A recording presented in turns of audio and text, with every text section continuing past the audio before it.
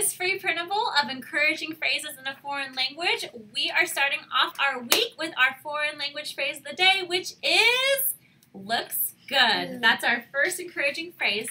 This is something you can say after someone takes a Pick, pick. How do you do that? I'm picture like this. So you hold your fingers up and then you mm-hmm. pretend to click it.